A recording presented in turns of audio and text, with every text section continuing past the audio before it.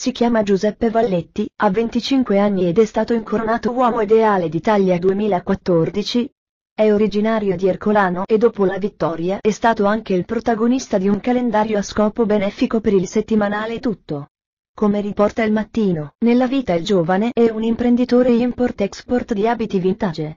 Chi è Giuseppe Valletti, classe 1989, a settembre si è aggiudicato il secondo posto nel concorso di Mister Italia, poi è arrivata la vittoria che lo ha incoronato uomo ideale d'Italia di questo 2014. Giuseppe Valletti, però, era già noto al pubblico per essere stato uno dei tentatori del programma Temptation Island. Il 15 dicembre uscirà il suo calendario per la rivista Tutto.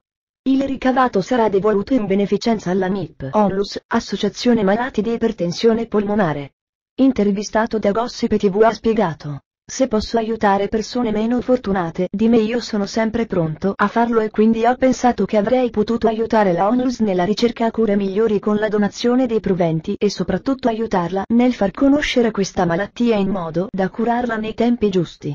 Il tema del calendario è il superstite. Un uomo che cavalca le onde di un mare in tempesta pur di essere vivo ed aiutare il prossimo.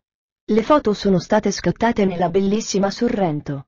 La sua donna ideale, Giuseppe Valletti ha le idee chiare, circa le caratteristiche che una donna dovrebbe avere per poterlo conquistare. Deve essere una persona molto intraprendente, amo le donne che prendono l'iniziativa, sempre col sorriso quindi molto solare, ma soprattutto sempre sincera anche quando una verità può fare male. Intanto, il 25enne sta studiando recitazione edizione e spera di poter ottenere presto un ruolo in una fiction. Chi se ne frega.